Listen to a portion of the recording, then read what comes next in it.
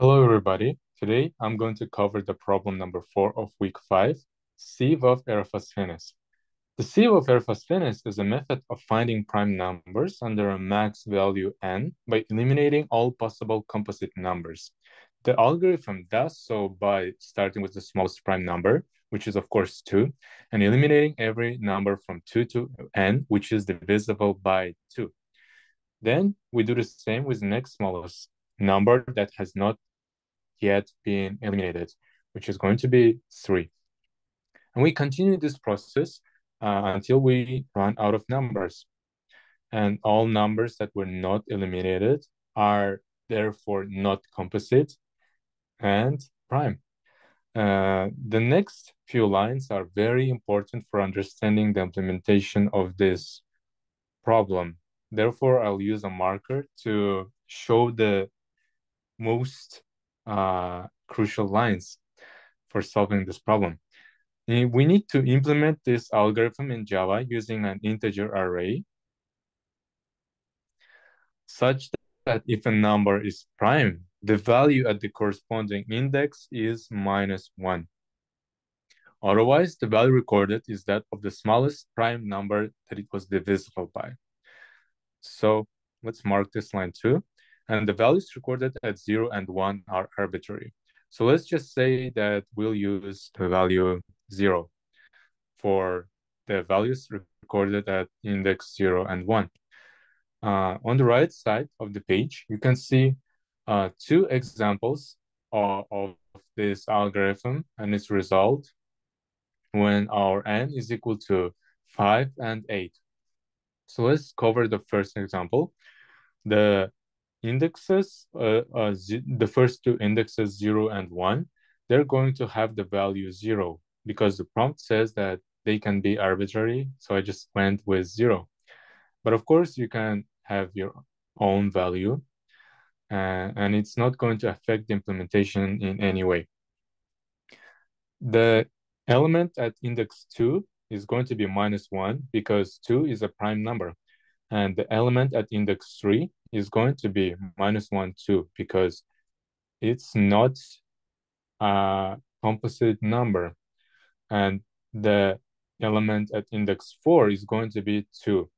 Why? Because two has, uh, four has been eliminated uh, when we were doing uh, this algorithm with our first prime number two. And let's look at the next example when our array is a bit larger. Uh, the first five values are going to be the same as in our last example, uh, but the changes start from the index five.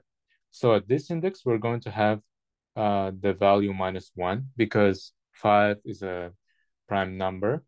And at index six, it gets a bit tricky because as we know, six is equal to two multiplied by three. So which number here we need to choose.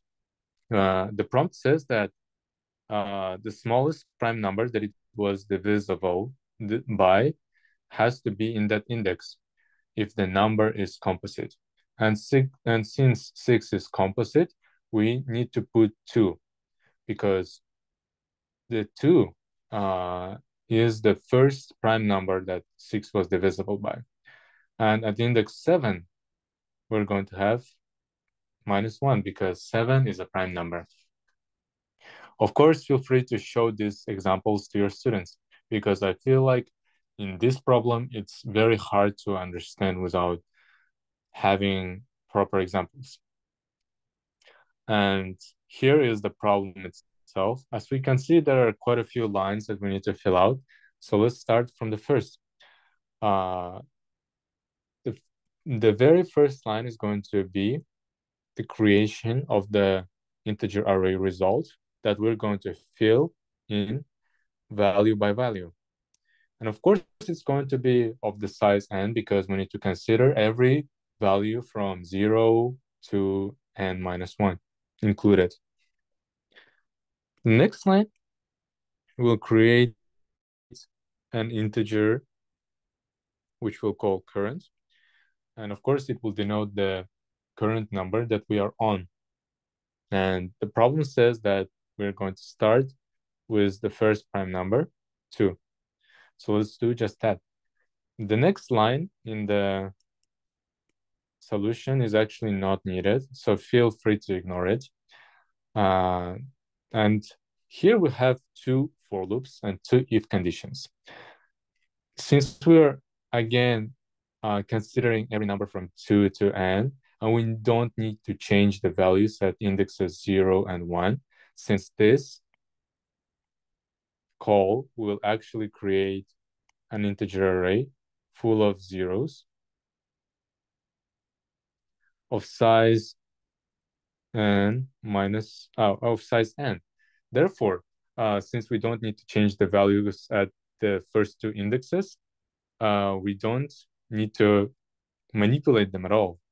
So it just makes sense to start from the index two. So let's create our integer i, which is going to be from, which is going to uh, cover every value in our array uh, from 2 to n minus 1 included.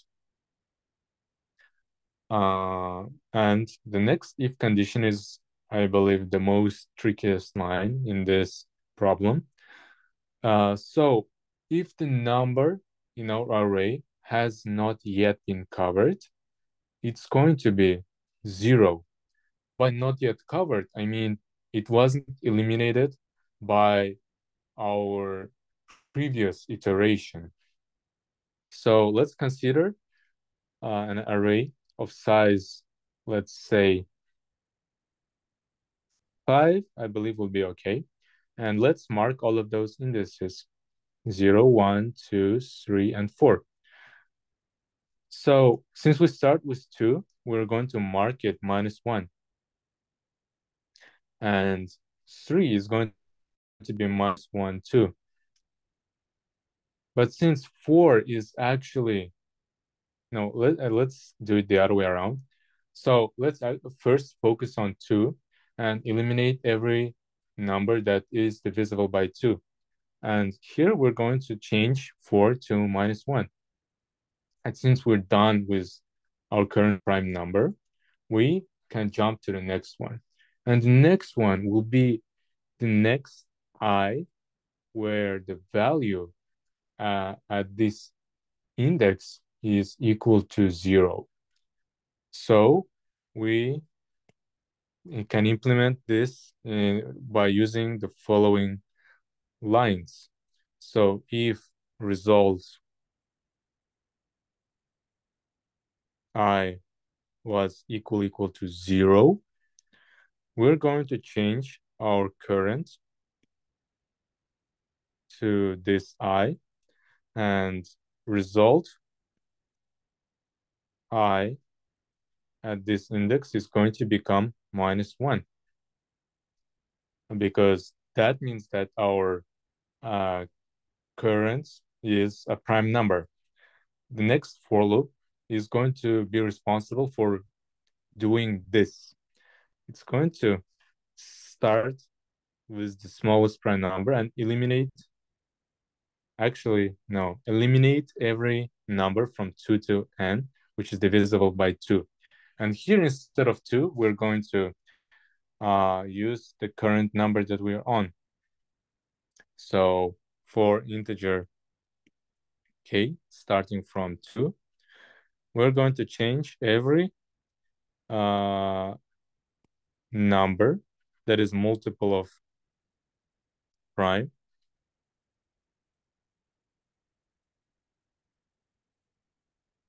and we can do so by using this call.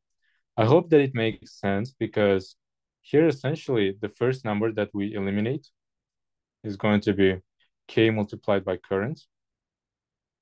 So actually we can write it down this way. Two currents, three currents, four currents, etc., etc. And you may ask yourself, what about one multiplied by current? What about the element at this index? But we already covered it here. And if uh, result k multiplied by current is equal equal to zero, we're going to change k multiplied by cur. Let me actually just write cur but of course it means current.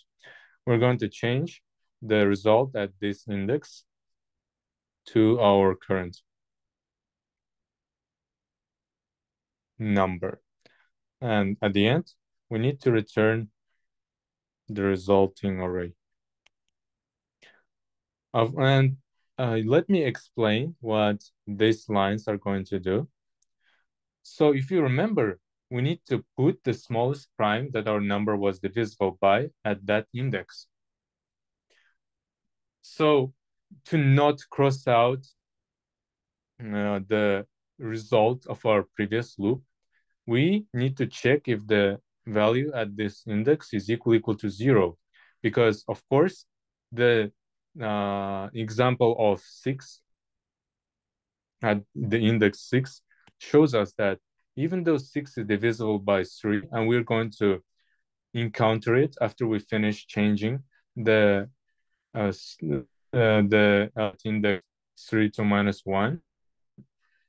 Going jump next box, which Um, but we can't change it because it was already filled by two. Check if our uh,